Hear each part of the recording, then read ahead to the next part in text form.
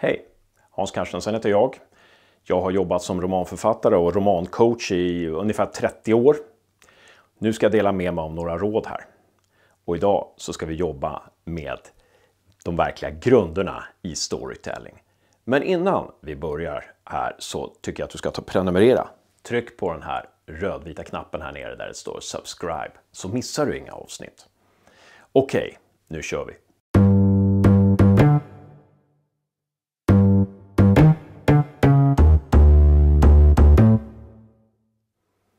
Idag ska vi jobba med huvudhandlingen. Eller the main plot som man säger på engelska. Och varför är det viktigt med huvudhandlingen då?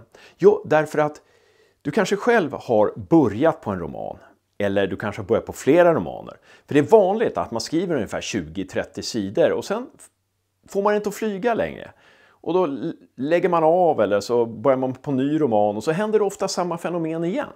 Och vad beror det här på? Det beror på att man inte har tänkt över vilken huvudhandlingen är.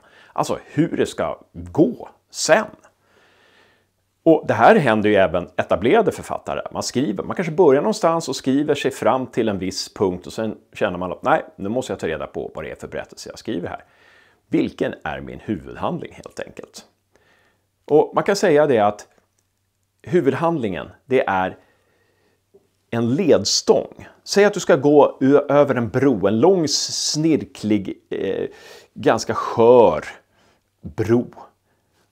Då behöver du en ledstång. Och huvudhandlingen, det är ledstången genom berättelsen. Och det är så här att läsaren ska känna av den här huvudhandlingen omedvetet någonstans redan från de första raderna i romanen. Och Därför är det bra att du vet som författare vilken huvudhandlingen är. Det kan ju vara så här att man byter huvudhandling också. Du kanske skriver det in i, i berättelsen i 50 sidor, 70 sidor, 150 sidor. Så tänker du att nej, det, det här är inte den berättelse jag vill skriva. Nu måste jag gå tillbaka, jag ska se vad jag kan behålla här. Och så gör man om huvudhandlingen. Och det påverkar ju allt som man har skrivit tidigare förstås. Så, så kan det vara. Så vad är då en huvudhandling? Hur får jag fram en huvudhandling? Det ska du få några handfasta redskap för att göra nu. Det bästa är att tänka sig en protagonist. Ni har väl lyssnat eller tittat på klippet med protagonisten, då vet ni vad en protagonist är. Även om du har flera perspektiv. Ett misstag man gör i början när man skriver sin första roman, sina första romaner, Eh, innan man liksom är publicerad, är att man vill ha för många huvudpersoner. Man skriver för många romaner i en. Så det bästa är att hålla sig till en protagonist. Även om du har flera perspektiv, håll dig till en protagonist.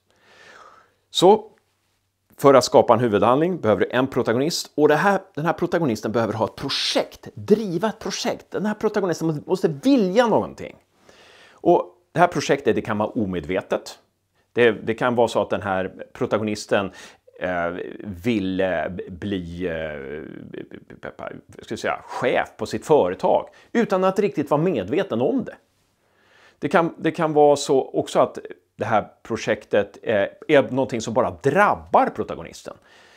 Det är översvämning, vi måste ge oss härifrån protagonisten får bara finna sig i att få ett projekt tilldelat. Men projektet kan ju också vara fullt medvetet. Helt klart.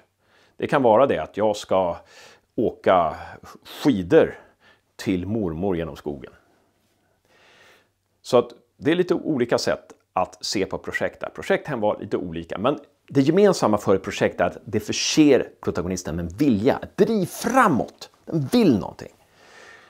Och det känner läsaren av. Det, det ger berättelsen en framåtrörelse. Men sen är det ju så här att det här projektet, det kan ju inte bara fortsätta, fortsätta, fortsätta, utan det måste ju stöta på någonting. Det får inte gå så lätt. Va?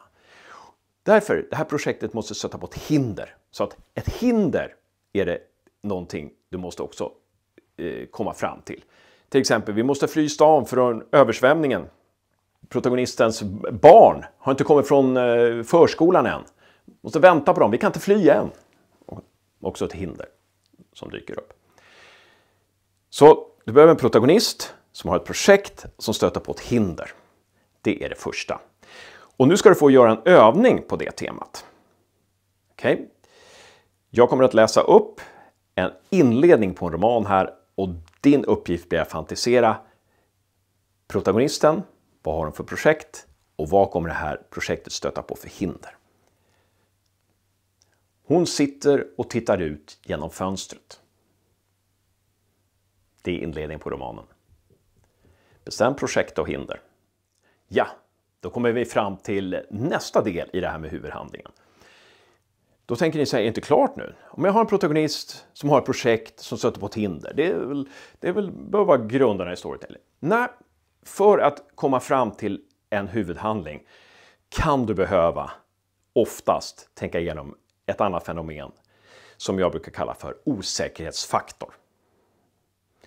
Och vad är det här då? Ja, osäkerhetsfaktor, man kan säga att det är en spricka också, men osäkerhetsfaktor tycker jag är den bästa termen. Och osäkerhetsfaktorn, eh, det är det som gör att läsaren vill läsa vidare helt enkelt. Om du har en osäkerhetsfaktor så kommer läsaren hela tiden att vilja göra det här säkert, vilja hitta en lösning. Och det enda möjligheten för läsaren att hitta den här lösningen är att läsa vidare. Så därför behöver den här osäkerhetsfaktorn någonting som gör allting osäkert. Som, där vi undrar, men hur ska det gå? I en deckare så blir det ju ganska lätt. Eller lätt ska jag inte säga, men det som gör dramaturgin i en deckare lite lättare än andra romaner är ju att deckaren ofta har ett mord, ett brott som ska lösas. Vi vet att det är det som är huvudhandlingen. Eh, och, och, och, då behöver vi inte tänka så mycket mer. Det är det som är osäkerhetsfaktorn är kom, kommer det lösas eller kommer det inte lösas? Hur ska det lösas och så vidare. Men i en annan typ av roman, i en annan typ av spänningsroman så kan det behövas en osäkerhetsfaktor. Och vad är då osäkerhetsfaktor Hans? Berätta! Stå inte bara och rapa upp ordet hela tiden. Nej, en osäkerhetsfaktor är till exempel så här. Vi säger att X eh, kommer från enkel familj.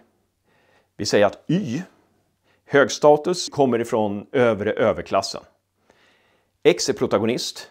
X känner, känner liksom en slags främlingskap inför Y, men X är kär i Y och X vill bli ihop med Y. Och det är projektet.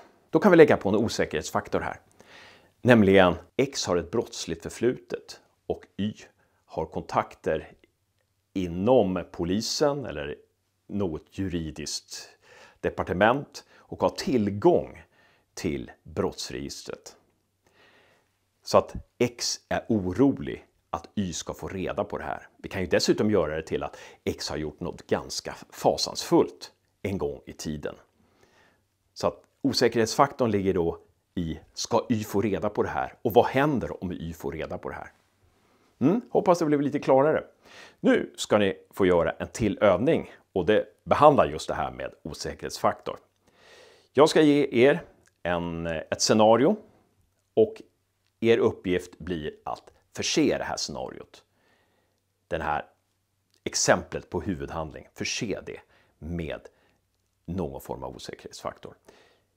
Nu är det så här. Vi har en protagonist, Josefin.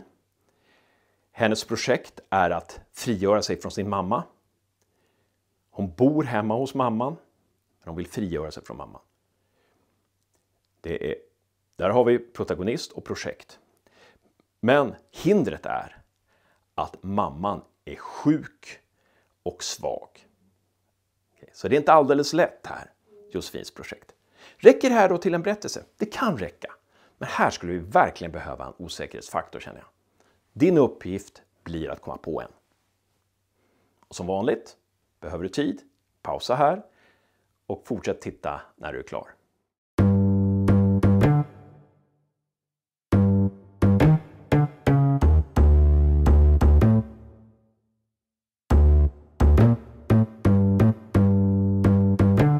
Hoppas du hade kul när du gjorde den här övningen.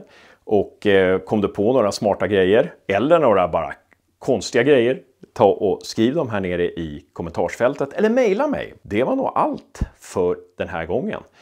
Nu vet du mycket mer om huvudhandlingen, du vet att den är viktig och du vet hur du ska eh, kunna skissa en om du behöver en. Och du vet att det är inte katastrof om du kör fast i din roman. Men du skulle behöva lära lite om sidohandling också subplot. Som tur är så jobbar vi med det i nästa klipp. Så prenumerera här så missar du inte det. Lycka till med romanen!